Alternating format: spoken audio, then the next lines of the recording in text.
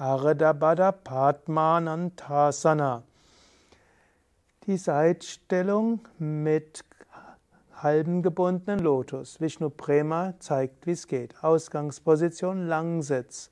Von hier beuge das rechte Knie und gib den rechten Fuß zur Hüftbeuge, gib den rechten Arm hinter den Rücken und fasse an den Fuß. Dann gib die linke Hand auf den Boden bzw. den Ellbogen auf den Boden und lehne dich auf den Ellbogen. Dann anschließend kannst du noch probieren, den Rumpf auf den Boden zu bringen und die Hand unter die Wange. Und so bist du in Ardha Baddha Padma Anantasana. Eine schöne Variation von Anantasana, eben der Seitstellung.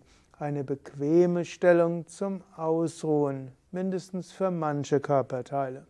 Alle Infos zu Anantasana auf wiki.yoga-vidya.de